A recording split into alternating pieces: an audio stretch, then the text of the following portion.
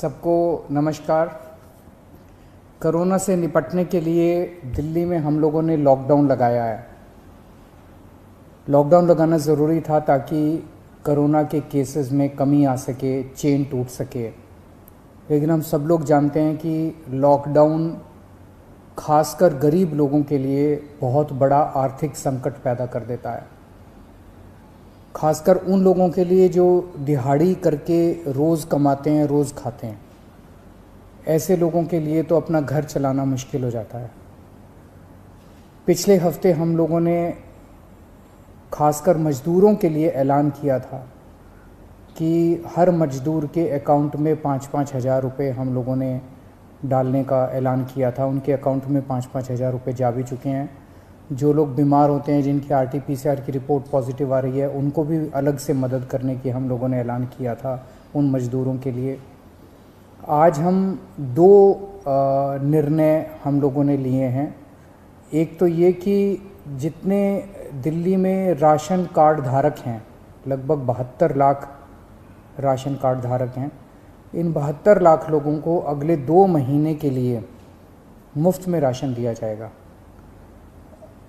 इसका मतलब आप ये मत निकालिएगा कि लॉकडाउन दो महीने चलेगा। भगवान ना करे ज़्यादा दिन चलाना पड़े, भगवान करे कि जल्दी केसेस कम होना चालू हों और जल्दी लॉकडाउन ख़त्म हो। लेकिन जो आर्थिक तंगी से गरीब आदमी जूझ रहा है, उसको मदद करने के लिए, अगले दो महीने के लिए सरकार ने निर्णय लिया कि अगले दो महीने के लिए सबको राशन मुफ़्त दिया जाएगा दिल्ली सरकार की तरफ़ से।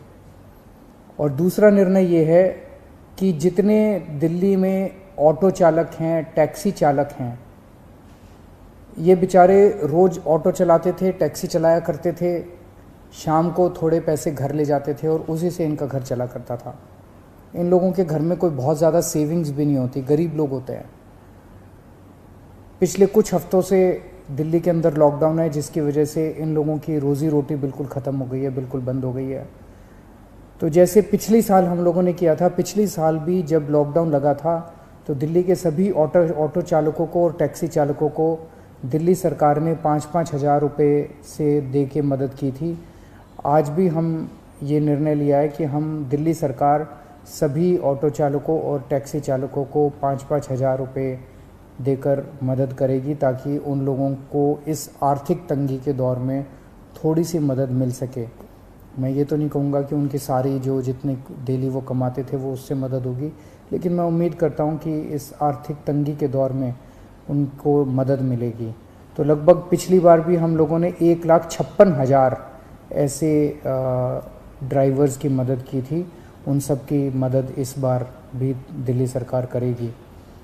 ये बहुत ही कठिन दौर है जिससे हम सब लोग गुज़र रहे हैं, और ख़ास तौर से ये जो सेकेंड वेव आई है ये सेकेंड वेव तो बहुत बहुत ज़्यादा ख़तरनाक है। हम सब लोग देख रहे हैं कि चारों तरफ़ कितना दुख है। चारों तरफ़ लोग कितने परेशान हैं। चारों तरफ़ लोग कितने बीमार हैं। मेरी सब लोगों से हाथ जोड़ के विनती है कि ये समय हमें एक दूसरे की मदद करने का है। ये समय एक अच्छा इंसान बनने का है। सब लोग, चाहे वो किसी भी पार्टी के हों, चाहे इस पार्टी के हों, चाहे बीजेपी के हों, चाहे कांग्रेस के हों, चाहे आम आदमी पार्टी के हों, सब लोग आपस में मिल के एक दूसरे की मदद करें। इस वक्त कोई राजनीति नहीं करनी, सब मिल के करें। चाहे किसी भी धर्म के हों, चाहे किसी भी जात के हों, ये बीमारी तो किसी को नहीं दिखती। चाहे अमीर हो, चाहे गरीब हो, सब एक दूसरे की मदद करें। अगर कोई बीमार है, उसको अस्पताल में एडमिट कराने की मदद कर सकते हैं। अगर कोई किसी को बेड नहीं मिल रहा, उसको बेड दिलवाने में, ढूँढने में उसकी मदद कर सकते हैं। अगर किसी को कई बार केवल सूचना मिल जाने से काफ़ी मदद मिल जाती है, किसी को ऑक्सीजन दिलवाने में मदद कर सकते हैं, किसी के घर में सब बीमार हो गए, उनको खाना खिलाने में मदद कर सकते हैं, उनके घर पे खाना पहुँचाने में मदद कर सकते हैं। इस वक्त ऐसे बहुत लोग होंगे जिनकी रोज़ी रोटी नहीं चल रही होगी, गरीब लोग हैं, उनको आर्थिक मदद कर सकते हैं ताकि उनका घर चल सके। तरह तरह से आप लोगों की मदद कर सकते हैं। मेरी सब लोगों से अपील है, हाथ जोड़ के अपील है कि सबकी मदद कीजिए, एक दूसरे की मदद कीजिए बहुत पुण्य लगेगा और तभी देश की तरक्की होगी।